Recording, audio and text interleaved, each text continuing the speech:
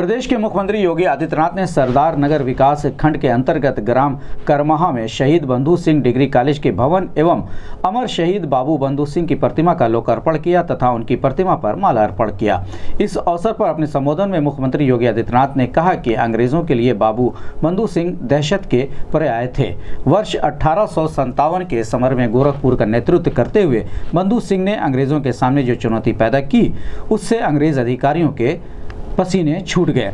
प्रथम स्वतंत्रता संग्राम में बर्बर अंग्रेज़ हुकूमत के खिलाफ मध्य व उत्तर भारत में भड़के सशक्त जन विद्रोही समर के नायक अंग्रेज़ी हुकूमत को हिला देने के लिए बाबू बंधु सिंह के संघर्ष की अनूठी शैली के कारण वो फिरंगियों में दहशत और भय का पर्याय बन गए थे। मुख्यमंत्री ने कहा कि बाबू बंधु सिंह ने गुलामी को कभी स्वीकार नहीं किया। देश की स्वाधीनता के लिए अपने प्राणों की बाजी लगाने के लिए हुतात्माओं ने सरसय न्यौछावर कर विदेशी शासकों का मुकाबला किया तथा हँसते हँसते फांसी पर चढ़ गए और वीर गति को प्राप्त किया, लेकिन गुलामी स्वीकार नहीं किया। मुख्यमंत्री ने ऐसे वीर सपूत की प्रतिमा का अनावरण एवं उनके नाम से संचालित होने वाले महाविद्यालय के संस्थापक को बधाई एवं शुभकामनाएँ दी। सीएम योगी ने कहा कि ऐसे महापुरुषों को शिक्षण संस्थाओं में संचालित पाठ्यक्रमों का हिस्सा बनाया जाए ताकि उनके आदर्शों से प्रेरणा मिल सके। इस मौके पर कृषि मंत्री सूर्य प्रताप शाही, महापौर सीताराम जायसवाल जायसवाल राज्य महिला आयोग उपाध्यक्ष अंजू चौधरी, जिलाध्यक्ष जनार्दन तिवारी, विद्यालय प्रबंधक अजय सिंह टप्पू, संरक्षिका शांति देवी, नीलम सिंह, पूर्व विधायक ब्रजेश सिंह, जिलाधिकारी के विजेंद्र पांड्यन एवं अन्य जनप्रतिनिधि, गणमान्य नागरिक तथा प्रशासनिक अधिकारी मौजूद रहे।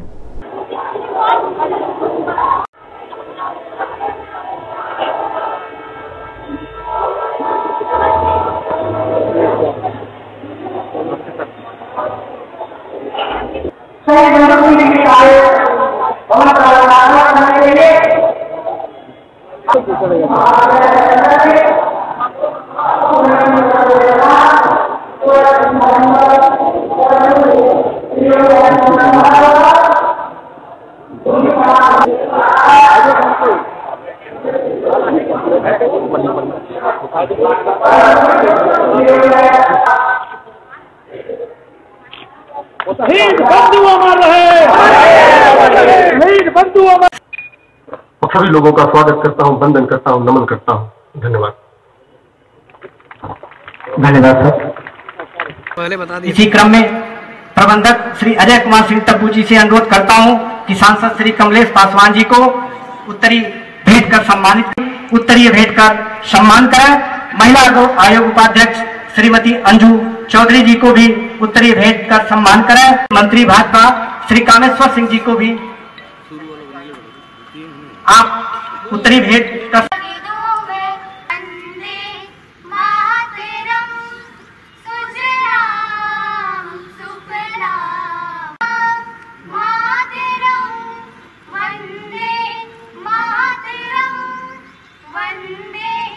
क्रोज पुलवामा में, जम्मू कश्मीर के अंदर। हमारे इकतालीस जवानों पर जिस प्रकार से आतंकी हमला हुआ, जिस प्रकार का बर्बर कायराना हमला हुआ था, इस देश की देशभक्ति बिना किसी भेदभाव के उत्तर हो या दक्षिण, पूरब हो या पश्चिम, पूरा देश आतंकवाद के खिलाफ और आतंकवाद को प्रश्रय देने वाले तत्वों को सबक देने के लिए आज सड़कों पर उतर करके लगातार देश की यशस्वी प्रधानमंत्री और देश के प्रधानमंत्री जी के साथ मजबूती के साथ खड़ा हुआ है। यह है देशभक्ति। जहाँ पर हम किसी भी राजनीतिक भेदभाव से ऊपर उठ करके कार्य कर सके, जाति, मत, मज़हब, क्षेत्र, या किसी भी अन्य उन संकीर्णताओं से ऊपर उठ करके एक ही हमारा भाव है, वह मातृभूमि के लिए। तेरा वैभव अमर रहे माँ, हम दिन चार रहे न रहे। और इस भाव को लेकर के जो भाव पैदा करने का कार्य वर्तमान में आज देश के अंदर देखने को मिल रहा है। यह अद्भुत मिसाल है, देश के लिए और जिस देश के अंदर, जिस देश के नागरिकों के अंदर इस प्रकार का भाव होगा, दुनिया की कोई ताकत उसका बाल बांका नहीं कर सकती है। कोई ताकत उसका बाल बांका नहीं कर सकती है। आतंकवाद के खिलाफ वर्तमान की इस लड़ाई में इस देश के प्रत्येक नागरिक को अपना योगदान देना होगा। और निश्चित ही भारत आतंकवाद से मुक्त होगा। हर प्रकार के अलगाववाद और अराजकता से मुक्त होगा। भारत की आंतरिक और बाह्य दोनों दोनों सीमाएँ अत्यंत सुदृढ़ बनी हैं और भी सुदृढ़ बनाने के लिए जो कार्य वर्तमान में चल रहे हैं, इन कार्यक्रमों के साथ इस देश की भावनाएँ भी जुड़नी चाहिए। और विगत चार दिनों के अंदर जो भाव देखने को मिला है वह अद्भुत है। अभिनंदनीय है। हमें अपने उन प्रत्येक शहीद पर गौरव की अनुभूति करनी चाहिए। उस अनुभूति को व्यक्त करने के लिए ही आज यहाँ पर अमर शहीद बंधु सिंह जी की स्मृति में जो महाविद्यालय और उनकी मूर्ति का आज यहाँ पर अनावरण हुआ है अत्यंत ही उस समय अंग्रेज़ों की क्रूरता और बर्बरता के बारे में जाना है। और दूसरी ओर देश की स्वाधीनता के लिए अपने प्राणों की बाजी लगाने वाले उन हुतात्माओं के बारे में भी हम लोगों ने देश के अंदर अनेक स्थानों में इस प्रकार के स्मारक देखे हैं। और हम सबको गौरव की अनुभूति होनी चाहिए कि गोरखपुर में शहीद बंधु सिंह जी ने वही गौरव हासिल किया था, जिन्होंने देश की स्वाधीनता के लिए अपना सर्वस्व निछावर करते हुए भी उन विदेशी आक्रांताओं के सामने, उन विदेशी शासकों के सामने न कोई समझौता किया, न वे झुके, न डिगे और न टूटे। हँसते हँसते फांसी का फंदा चूमते हुए उन्होंने वीर गति को प्राप्त किया, लेकिन कभी भी देश की स्वाधीनता के साथ कोई समझौता मुझे याद है, अभी पिछले दिनों में गोरखपुर जेल में पंडित राम प्रसाद बिस्मिल के स्मारक और सैनिक सम्मान कार्यक्रम में उपस्थित हुआ था। मैं उनकी एक पट्टी देख रहा था। उन्होंने अपनी आत्मकथा में एक बात लिखी है। पंडित राम प्रसाद बिस्मिल को इस बारे में जानकारी थी कि उन्हें फांसी होनी है। काकोरी कांड से जुड़े हुए होने के नाते अंग्रेज़ जितनी यातना दे सकते थे, उस यातना के बाद भी जब वे टूटे नहीं तो उन्हें फांसी की सजा सुनाई गई। तो फांसी के पहले जब उनसे पूछा गया कि आखिर क्या तुम्हारी अंतिम इच्छा क्या है तो पंडित राम प्रसाद बिस्मिल ने एक ही बात कही थी। उन्होंने कहा था कि इस भारतवर्ष में सौ बार मेरा जन्म हो।